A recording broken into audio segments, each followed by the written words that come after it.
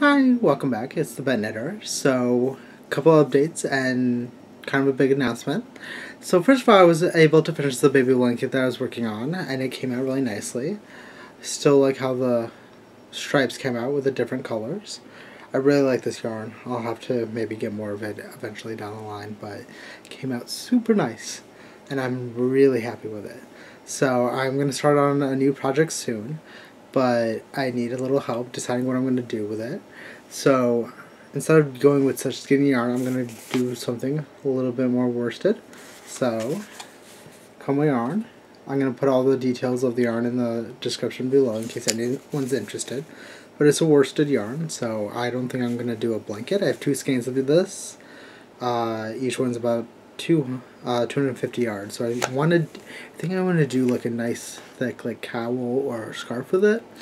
Um, I haven't really decided yet. So if you know any good patterns that I should use, let me know in the description, uh, in the comments below, and I will do them. You just gotta tell me. But I'm looking forward to making something different now. I always go from bounce back from doing something small to something large, so that'll be nice. But that's kind of my next yarn. It wouldn't stay up on my little hanger, so that's why I had to use it. I'll put some other yarn up there in the future.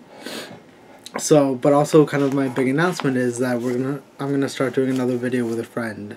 So there'll be like two videos a week.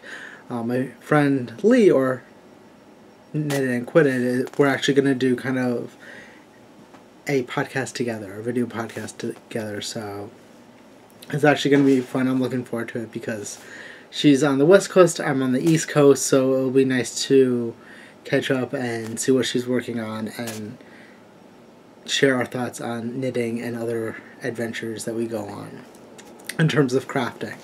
So probably this week is going to be the first video of us together. Um, now it's going to be a little bit longer. Like you, as you can tell from my videos alone, they're usually shorter videos. So like two to five minutes, usually shorter, occasionally a long video, but very short form. With her, what we're going to do is something a little bit longer. So we're going to actually shoot for probably 10 to 15 minutes of us sharing and talking and covering what we're working on. So that's going to be the goal, and we'll kind of go from there. If you have any suggestions or ideas that we should cover, let us know. Um, but I look forward to it, and I hope you are too. Anyway, I will see you later. I think that's it for now.